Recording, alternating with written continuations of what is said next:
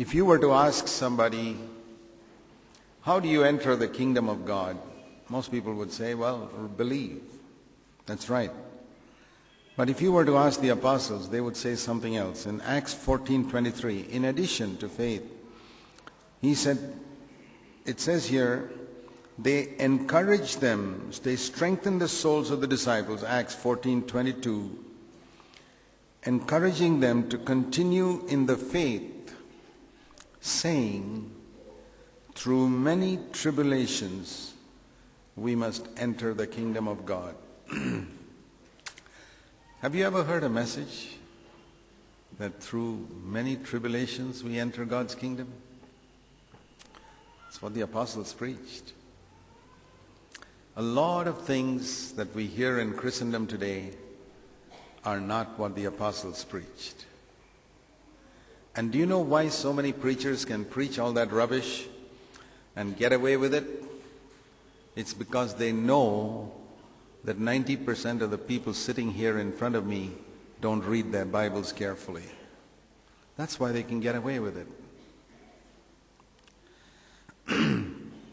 I saw an advert, uh, a leaflet put out by one of the well known Indian preachers, and he was asking for saying, Support my work. You know, that's a very common thing.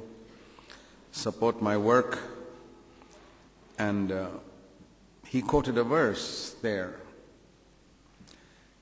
He who gives to a prophet will receive a prophet's reward.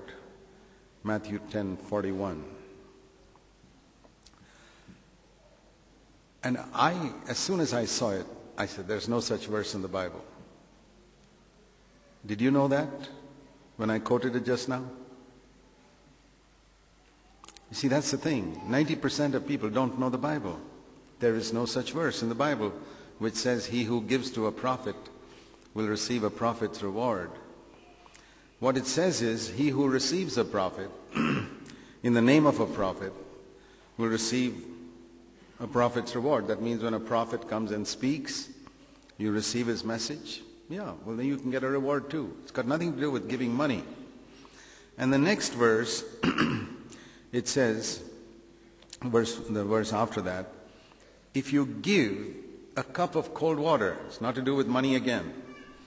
If you give a cup of cold water to a disciple, you will not lose his reward. But they have taken a little bit from here and a little bit from there and mixed it.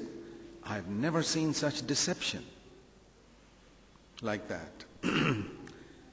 and um, this is the tragedy today that so many preachers know. You put a verse like that, he who gives to a prophet will receive a prophet's reward, Matthew 10:41. They know that 99% of believers will never look up that verse to see whether it's true or not. I don't even need to look up that verse to know it's not in the Bible.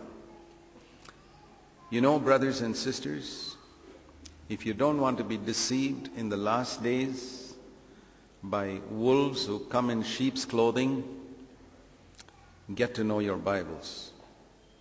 That's the only way. And uh, that's why I say you must never go to a meeting without a Bible. And every verse that is quoted, look it up. Read your Bible regularly. Get familiar with it. That is how I have been protected from a lot of deception.